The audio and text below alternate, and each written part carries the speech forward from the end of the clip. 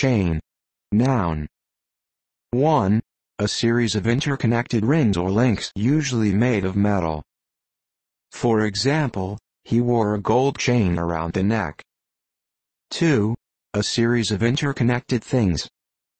For example, a chain of mountains. 3.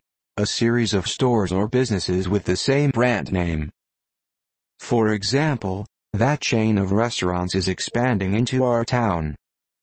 4. Chemistry. A number of atoms in a series, which combine to form a molecule.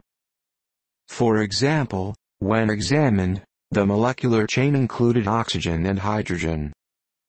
5. Surveying, a series of interconnected links of known length, used as a measuring device. 6. Surveying, a long measuring tape. 7. A unit of length equal to 22 yards. The length of a Gunter surveying chain. The length of a cricket pitch. Equal to 20.12 meters. Equal to 4 rods. Equal to 100 links. 8. Mathematics, order theory, a totally ordered set, especially a totally ordered subset of a poset. 9. UK, a sequence of linked house purchases each of which is dependent on the preceding and succeeding purchase, said to be broken if a buyer or seller pulls out. 10.